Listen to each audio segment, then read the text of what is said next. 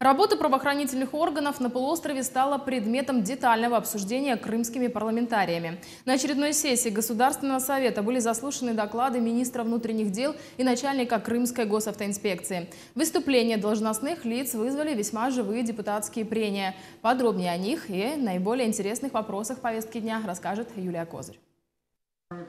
Завершая правительственный марафон годовых отчетов, к парламентариям пришел министр внутренних дел по Республике Крым. Доклад Сергея Абисова был весьма обстоятельным. Главный тезис – правоохранителям удалось не допустить роста преступности, а борьба с нарушителями закона велась ожесточенная. Тому свидетельство – озвученные в отчете цифры. По сравнению с 2014 годом вдвое возросла раскрываемость преступлений, в том числе тяжких и особо тяжких.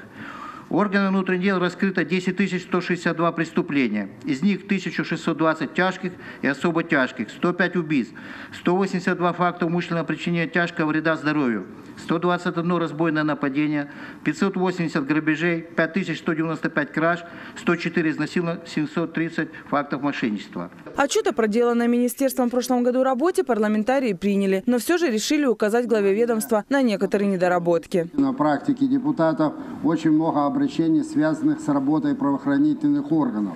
Особенно я хотел бы обратить внимание на контроль деятельности участковых, которые непосредственно работают с избирателями. Поскольку мне довелось, например, обратиться э, с письмом, обращением гражданки Нечаевой Анастасии Сергеевны, это село Трудовое Симферопольского района, которая участковый ее района просто не реагировал на ее жалобы и обращения, там были преследования. Сергей Абисов пообещал, этот вопрос возьмет под личный контроль и оптимизирует работу участковых полицейских. Следующим на трибуну Госсовета вышел еще один начальник, но уже госавтоинспекции. Парламентариям, как и большинству крымчан, очень интересно, когда же исчезнут очереди на перерегистрацию автомобилей. Ведь не улучшила ситуацию ни работа без выходных, ни продленные часы приема, ни дополнительно прибывшие специалисты из других субъектов Федерации. А между тем, до часа X осталась всего неделя. Но Анатолий Борисенко стоит на своем. Сроки продлевать не будут. Кто не успеет, тот, как говорится, сам виноват. Я не буду говорить и отвечать за каждого гражданина, который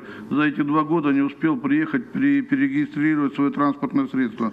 Но тем не менее, с момента того, что увеличилось количество транспортных средств, были приняты дополнительные меры по урегулированию данного вопроса. Но если с физическими лицами ситуация более или менее понятна, то юридических проблем куда больше. Из-за пробелов в законодательстве свою работу могут остановить крупные предприятия. Дело в том, что приобретенные предприятиями на Украине машины сейчас невозможно переоформить. Когда приходит регистрироваться ГИБДД, в соответствии с законом, который сегодня есть, видно посылают таможенные органы, а получите справку, как, как транспортное появилось на территории, э, скажем, Российской Федерации.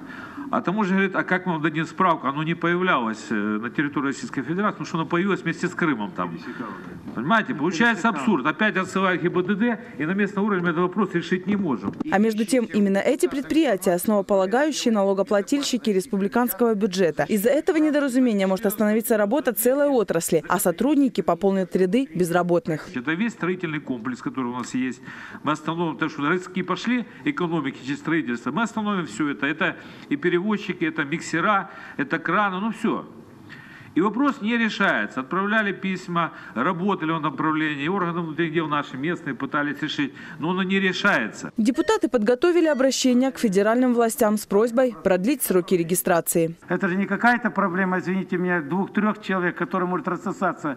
Это серьезная социальная проблема, если завтра мы им запрещаем выходить на работу, они завтра придут все под ГИБДД станут, или здесь возле э, Государственного совета все придут и скажут, давайте нам тогда вы работаете, или покупайте нам транспорт транспорт, или э, поехали с нами туда за, за перекоп, мы покажем вам, как это все делается там. То есть это все гораздо более серьезные вещи, чем просто оформление какой-то бюрократических документов. Теперь парламентарии будут ждать ответ федерального центра. Были приняты сегодня и другие не менее интересные решения. Так парламентарии утвердили законопроект, который разрешает увольнять с государственных должностей лиц, утративших доверие и подозреваемых в коррупции. Еще одно решение депутатского корпуса позволило почти 6 тысячам крымчан получить право на получение звания ветеран труда и соответствующих мер социальной поддержки. Юлия Козырь, Евгений Стариков, служба новостей ИТВ.